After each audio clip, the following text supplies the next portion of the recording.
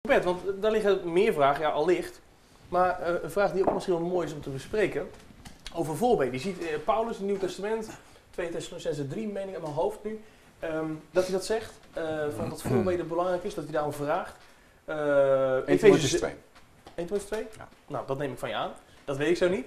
Efeze 6 doet, hij het ook. Eh, legt de hele wapenrusting uit. Zegt van, doe, de, doe die hele wapenrusting aan. En dan eindigt hij met bidden en smeking voor alle heiligen. Ja. Dus je ziet dat, nou, voorbeden op meerdere plekken, meer dan ik nu aanhaal in ieder geval, dat blijkt uit de Nee van ik moet het rechtzetten. Oh? Nee, 1 Timotheus 2 wel, maar 2 Timotheus 3 staat verzoek om voorbeden. Oh, oké. Maar goed, overduidelijk, op meerdere plekken zie je dat er verzoek is om voorbeden te doen.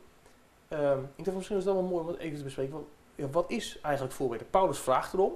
Blijkbaar is het prominent aanwezig in de Bijbel. Is het dus belangrijk. Maar wat is het en, en hoe doe je dat dan? Mhm. Dat is dan wel handig om te weten als Ja. je dat soort principes, Ja. als je het zo mag noemen, Ja. wil vormgeven in je eigen persoonlijke leven. Ja. Mhm. Je ziet in de... ge- Wij Hmm. hebben nogal wat gebeden van Paulus. Hè? Begin van Colossense, Efeze 3. En hij, ge- hij begint nog wel eens een brief dat hij ook... Ik zeg, ja, waar, waar doet hij dat voor? Houd het in de binnenkamer? Nee, zegt Paulus, houd het niet in de binnenkamer. Jullie mogen weten wat ik voor je bid. Eén, dan weet je dat er voor je gebeden wordt. Dan weet je ook wat ik voor je vraag, maar dan weet je ook zelf wat je naar moet staan en wat Ja, je mag verlangen. ja, ja. Dat Mhm. zit in de gebeden van Paulus heel veel. En blijkbaar was de voorbeden een belangrijk onderdeel van de gebeden van Paulus zelf. Ja. Hij, hij heeft dagelijks, hij zegt, ik word dagelijks overvallen door de zorg van de gemeente. En dagelijks heeft hij zijn knieën gebogen, ge- is gegaan tot onze God en Vader van de Heer Jezus Christus, om te, te vragen, en de vraagt er veel. Mhm. Openbaring van de kennis in zijn wil, om te handelen naar de wil van God, om met alle heiligen te verstaan wat de breedte, lengte, diepte en hoogte is, en de liefde van Christus kennen die al, en vervuld worden tot al de volheid Gods. Nou, bid dat voor anderen. Mhm. Omgekeerd zegt hij keer op keer, wil je alsjeblieft voor mij bidden. Want ik heb de voorbeden van de gemeente nodig om de verborgenheden van het evangelie te vertellen. Ja. Dus praktisch, Ja. Bid voor je gemeente. Bid je predikant vol.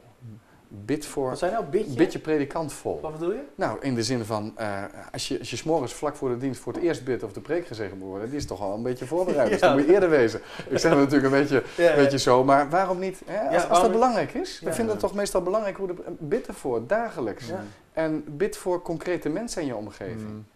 En Hè? misschien is de les van Paulus ook wel, laat het ze ook maar weten. Ter bemoediging.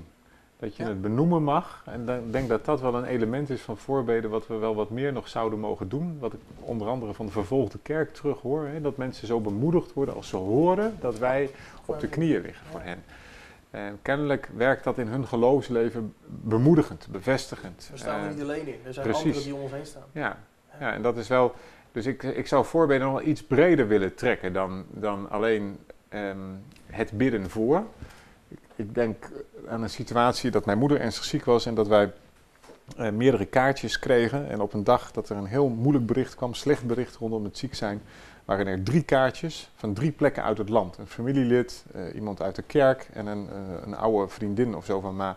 We kwamen in het ziekenhuis en ik, ik nam de post van thuis en ik gooide ze op bed. En mijn moeder zei, nou jongens, gaan jullie maar even terug, want ik wil eerst met mijn papa bes- bespreken. Hm. Nou, dat was een heftig bericht. En, en toen bleek dat die drie kaarten die ze openmaakten, alle drie dezelfde bijbeltekst bevatten. Al zou je moeten gaan door het water, ik zal bij u zijn. Al ga je door het vuur, je zult niet verbranden. En eh, op die dag, zeg ik je maar eerlijk, heb ik besloten dat mijn voorbeden er anders uit zou gaan zien. En dat ik de Heer zou vragen, Heer, en als ik nu iets op een kaart mag schrijven, wilt u het dan nu aan me zeggen? Nou, dat klinkt zwaarder dan ik het bedoel, want dan kwam op een gedachte bij een tekst of ik bladerde door mijn Bijbel, dan kwam ik ergens en dan schreef ik dat op. En er is sinds die dag in mijn huis geen kaart of briefje meer weggegaan tot een sms'je of WhatsAppje toe, waarin ik met een gelovig gebed heb gezegd, Heer, ik denk dat deze tekst naar die persoon mag sturen. Wilt u het gebruiken? Ook omdat je weet wat, voor, wat het betekenen kan. Ja. dus? Ja. En hoe de Heer de Ja. teksten kan gebruiken. Nou ja, dan gaat het weer bevinding, omdat je het ervaren hebt. Wat het, Ja. en dat is ook een vorm van voorbeden. Misschien, nou, ik wil niet dat woord erin gooien, maar misschien mag je het wel bijna profetisch noemen. Hè? Dat de Heer een woord gebruikt Ja. in de harten van mensen, omdat het zijn woord is. En ehm, ja, op die manier dat je gelovig voorbeden mag doen, maar iemand ook biddend woorden van God mag toewensen. Hè? Want, want wat, wat kan er beter spreken dan het woord van God? Maar dan, ja, dan komt het toch weer op aan. Het klinkt bijna menselijk. Maar dan moet je wel geloven dat die tekst op die kaart ook wat doet. Ja, ja, ja. En dat het niet een losse flodder is.